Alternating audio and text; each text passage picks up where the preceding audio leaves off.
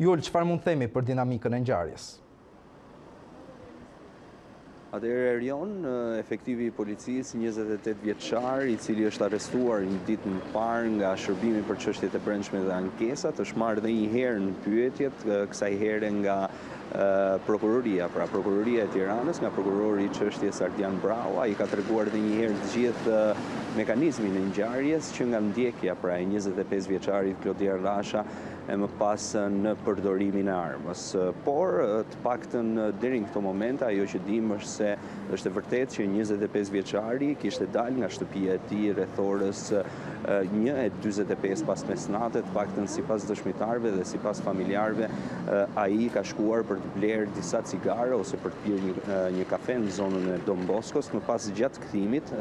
Ai është hasur pra me, me efektivët e repartit special Shqiponja, me dy efektivë, të cilët faktikisht janë disa detaje të cilat duhen sqaruar, ata kanë qenë në makinë, në krahun tjetër të rrugës, kur i kanë bërë thirrje 25 vjeçarit që të ndalojë, më pas të paktën sipas policisë dhe lajmërimit të sallës operative nga ana e efektivit, bëhej fjalë për një një të ri i cili mbante një kapuç dhe që kryente veprime të dyshimta. Të paktën ky ka qenë dyshimi i parë, krahas maskës, por edhe veprimeve të dyshimta sipas efektivit, sipas dëshmisë së efektivit dhe më pas lëvizja e tij dhe mosndalimi, pra mosndalimi nga ky njëzet e pesë vjeçar thirrjeve të policisë për të për të ndaluar. Gjithsesi më pas kur efektivët e policisë kanë dalë në të njëjtin sens me njëzet e pesë vjeçarin, në këtë moment Të paktën dhe nga raportimi që është bërë me sallën operative, dyshohej se ai mbante një send të dyshimtë, e cila mund të ishte edhe një pistoletë. Por, gjithsesi, në momentin që efektivi i policisë është përballur me Klodian Rashën të riun, pra nga Dibra, në rrugicën teksa ai po lëvizte në drejtim të banesës së tij, e ka qëlluar. Më pas, pas kësaj ngjarje, pas plumbave që efektivi i policisë ka qëlluar, njëri i cili njëri prej të cilëve e ka kapur në shpatull dhe tjetri në pjesën e kokës. 25 vjeçari ka humbur jetën në vendngjarje në hyrje të rrugicës që të çon për në banesën e tij në rrugën Dritan Hoxha. Grupi i ekspertëve ka vendosur, të paktën policia ka vendosur që të mënjanohet dhe të përjashtohet nga hetimi i kësaj ngjarje, kjo për shkak të konfliktit të interesit dhe në dorë e ka marrë Prokuroria e Tiranës dhe Shërbimi për Çështjet e Brendshme dhe Ankesat Ministrinë e Brendshme. Janë sekuestruar dy DVR, njëra prej të cilave tregon lëvizjen e njëzet e pesë vjeçarit, pra rrugën e përshkruar prej tij, një rrugë e cila të paktën sipas DVR-së është një rrugë prej gati treqind metrash në rrugën kryesore Dritan Hoxha. dhe më pas një DVR e cila tregon dhe gjithë mekanizmin e ngjarjes, pra momentin kur 25 vjeçari është qëlluar në hyrje të rrugicës për në banesën e tij, është një DVR e një servisi, një servisi aty pranë. Kjo ka qenë dhe momenti deciziv çka ka bërë që hetuesit, pra shërbimi për çështjet e brendshme dhe ankesat, por dhe prokuroria të vendosë prangat e efektivit të repartit Shqiponja. Në momentin që 25 vjeçari është qëlluar, ai ka qenë me kurriz nga efektivi i policisë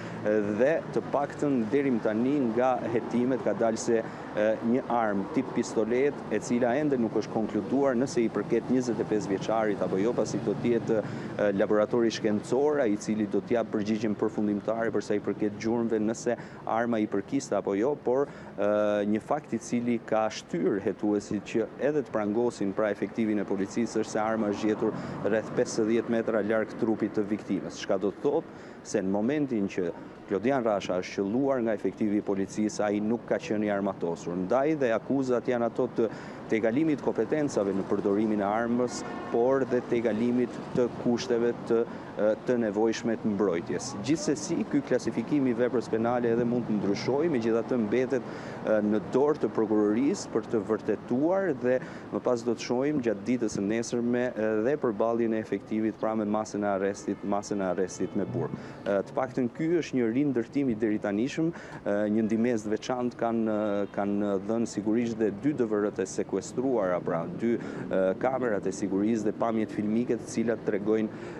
tregojnë momentet kur 25 vjeçari Klodian Rasha lëvizte pra për të shkuar drejt banesës në rrugën kryesore Dritan Hoxha dhe më pas